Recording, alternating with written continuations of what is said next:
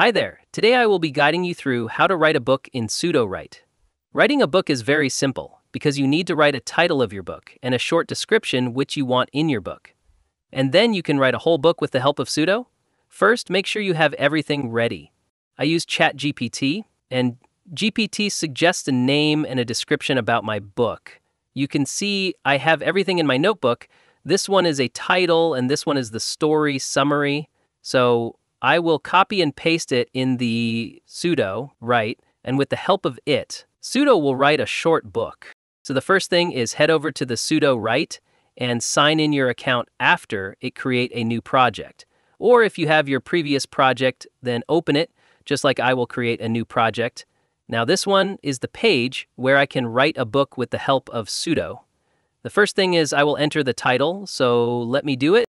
After entering the title, here I need to describe something about my story, so let me do it. So I describe few things about my story. This one is a story Bible. If you want to enable it, then enable it, or you can also disable it by yourself. But with the help of this, you can write your book more easily because with the help of this, you can brain dump your ideas. And you can also select genre, style, synopsis, characters, and much more. So if you want to add anything, just like I will brain dump my ideas. So let me open my notepad, let me also copy and paste it. Then I will click on Write. Now on the right side, you can see the written story by Sudo. This one is the first story, and below you will see the second. Now if you want to insert any of these in your story, then click on the icon Insert, and below you can see it's inserted. Don't need to change anything. So I insert the first story. If you want to insert the second one, then click on the icon Insert and the next will be added in your story. You can also rewrite the whole story. Just select that which you want to rewrite and then click on the option Rewrite here.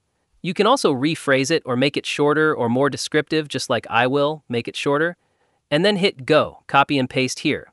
Now you can see I copy and paste here, so using this way you can write a whole book with the help of Sudo.